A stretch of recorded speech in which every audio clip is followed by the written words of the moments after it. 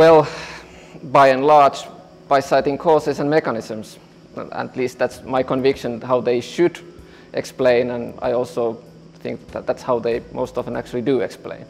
Uh, that might be a bit boring answer, but on a very general level, I think that's the case. So I think there's a couple of things that that rules out, a couple of kind of probably misleading ideas that some economists might now and then entertain. One is that understanding via the kind of individual rationality is somehow privileged or special way of understanding phenomena. I don't think that's the case. Or that just, just by unifying a large variety of different kinds of social phenomena under a very small set of principles or axioms is explanatory by itself. I also think that's not explanation as such. Well, yeah, of course there are differences in economic phenomena. There are the characteristics of economic phenomena that they make them somewhat different to other kinds of social phenomena. There are all kinds of historical uh, contingencies that influence economic theorizing that makes economic explanations look distinctive in many ways. But as I already said, in, in a very kind of fundamental way, I do think that all scientific explanations are of, a, of, a, of a single, or at least a few kind, only a few different kinds.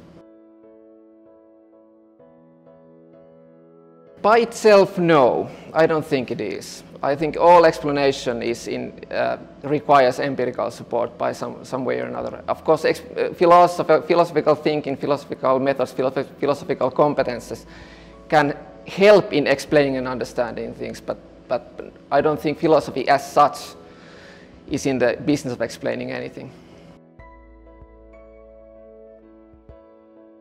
Yeah, so I, I'm a self, uh, I'm a card-carrying naturalist, so I, I don't think that there is, a, there is a thing that would be a specific philosophical method.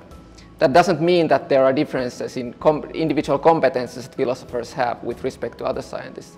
And that doesn't also think that the, the kind of cognitive and epistemic competences that philosophers have would be necessarily somehow inferior to other kinds of competences that some empirical scientists have. I just think that they are, they are different. But in, in the end, there's a continuum between uh, ways of understanding the world. And I think philosophy is on that continuum.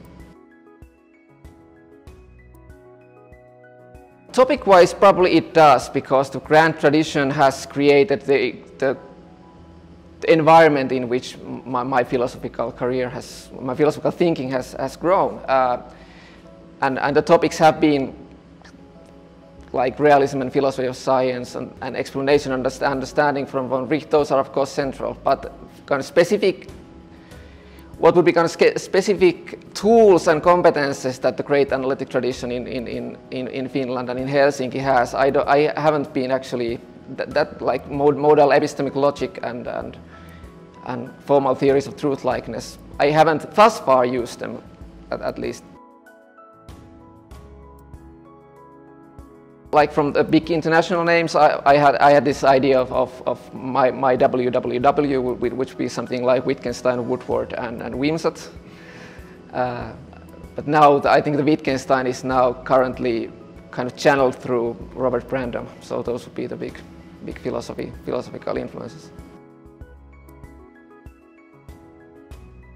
Through my interest in causality, I wasn't interested in, in, economics to begin with. I was interested in causality and quite a few of the examples in this causal, causality literature had to do with econometrics. And I was kind of in, intrigued. Well, this is something that philosophy seems to be almost in touch with the practice of, practice of science. And then I had to learn something about it. And then I went to study economics. And then, of course, uh, Uskali Mäki came back to Finland and uh, we, we got this uh, center going with a focus in philosophy of social science. To be a good philosopher of anything, you have to have at least some, some kind of, at least rudimentary working competence in, in, in the thing that you are studying. I, uh, I, I, I, cannot admit that I would be a qualified economist, no way, and I don't have full, full economics degree, but you have to have some idea of not just what people say, but how things actually work. today, uh, uh, it seems that quite uh, a lot of interest is put, put into policy relevant issues, but at, at, the, at the individual level. So these behavioral policies, uh, experimental economics, and that it's different branches of experimental economics and its relation to uh, policies. Those are clearly, clearly very hot issues.